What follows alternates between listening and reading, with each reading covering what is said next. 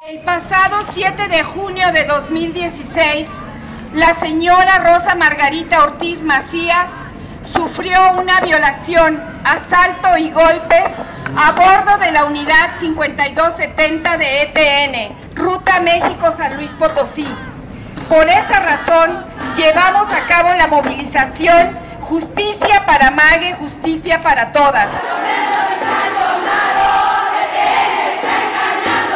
Exigimos a la empresa ETN brinde las condiciones de seguridad que garanticen la integridad de sus usuarios y se responsabilicen de los actos violentos que ocurran desde el arribo hasta el descenso de sus autobuses. En este caso concreto de la violación a la señora Rosa Margarita Ortiz Macías, el chofer, y que quede muy claro, no fue encañonado y abrió la puerta para que entraran los delincuentes que la violaron. Ninguna de las que estamos aquí somos esposas de.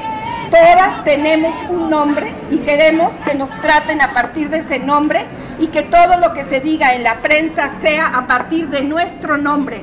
Exhortamos a las mujeres y grupos de mujeres a formar redes para denunciar las violencias de las que han sido objeto. Que ninguna mujer se quede sin respuesta ante una violación.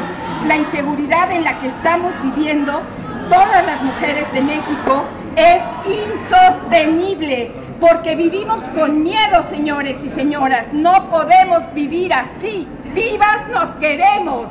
Vivas nos queremos. Vivas